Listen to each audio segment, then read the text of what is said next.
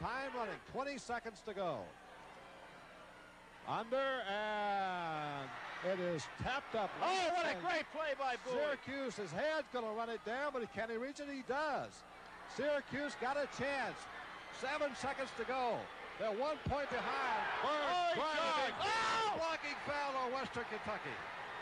They're going to call it a foul on Western Kentucky, I believe. How about the basket? Three seconds to go. Let's see if the basket is good. It shouldn't be good. I thought it was a charge. The basket is good. 88 to 87. Syracuse has taken the lead. Let's watch that again. Watch what a this play. play. Here's Burt. First of all, he walked.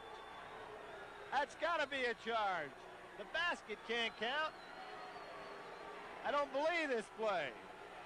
I don't believe the play. Western Kentucky's not going to believe it, Bill, but I think that's going to be it.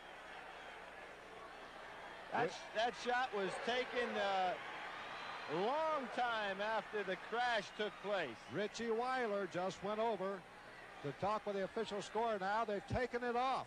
Oh, let's. It did not count. Bill, you were absolutely right. Well, we didn't need That a replay for that. incredible call.